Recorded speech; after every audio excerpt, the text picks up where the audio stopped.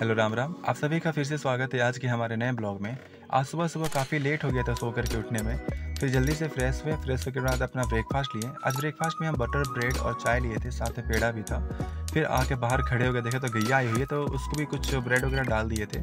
कुछ देर के बाद बाबू भी जग गई थी और वो अपने खेलने में लग गई थी। खेलना क्या फाड़ना तोड़ना इसका हो गया, शुरू हो गया था।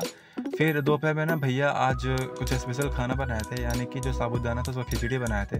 सच बता रहे, काफ़ी मस्त हुआ था, बहुत टेस्टी हुआ था। इसकी भी रेसिपी आपके साथ शेयर करेंगे, भैया से पूछ करके कैसे क्या बनाए थे। दोपहर में हम लोग नहा करके बाहर आ गए थे और बाबू भी खड़ी थी भैया के साथ। फिर शाम हुआ तो हम निकल लिए थे, कुछ काम था मार्केट में तो उसके लिए। ये ना भैया का ई डिपार्टमेंट बन रहा है और ये जो है इमरजेंसी डिपार्टमेंट है। उसके बाद से हम निकल लिए। सबसे पहले हम गए मंदिर, जो सिविल लाइन में हनुमान मंदिर है ना, वहाँ पे गए थे। उसका जो इंटीरियर है ना, बहुत अच्छा लगा और ये जो डिज़ाइन वगैरह किया गया, बहुत सही लगा।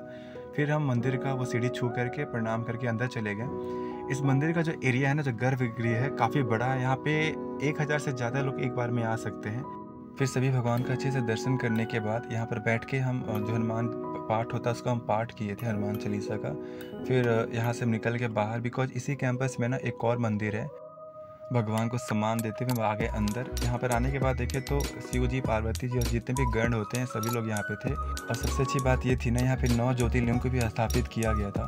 फिर सभी को अच्छे से प्रणाम करते हुए आगे हैं तो माता सरस्वती जी का यहाँ पे स्थापना था और राधे और कृष्ण का भी था।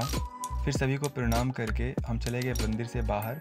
बाहर आए तो एक एरिया यहाँ पे था ना, यहाँ पे बनारस जाने के लिए कैब वगैरह मिलता है। जो लोग बस से लेना चाहते हैं ना तो यहाँ से इजीली कैब कर सकते हैं। हमें लगा था कुछ सामान तो हम आए यहाँ पे एक शॉपिंग सेंटर में, लेकिन यहाँ पे ना हमें कुछ मिला नहीं तो वापस यहाँ से निकल के हम चलेंगे दूसरी जगह। लेकिन जब वहाँ गए तो वहाँ पे कुछ अलग ही हुआ, बताएँगे आगे क्या हुआ था। ये सामने जो दिख रहा है ना मॉल, यहाँ पे जाना था। फिर वहाँ पे गए, जो भी चेकिंग वगैरह होता है ना सिक्योरिटी चेकिंग वगैरह हुआ। जब अंदर गए तो पता चल रहा है कि यहाँ से बिग बाज़ार को मतलब शिफ्ट कर दिया गया है। किसी ने बोला कि बंद कर दिया गया है। तो भाग्य खराब था, जो सामान वगैरह मिल नहीं पाए वापस हम घर आ गए। घर जाने से पहले हम कुछ यहाँ पे कुछ ये खाए थे पापड़ी चाट करके खाए थे, मज़ा आ गया था खा करके। फिर यहाँ से निकल लिए रूम के लिए।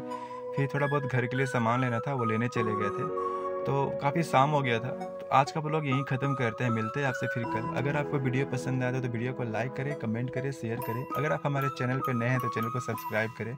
मिलते हैं फिर आपसे कल, तब तक के लिए राम राम।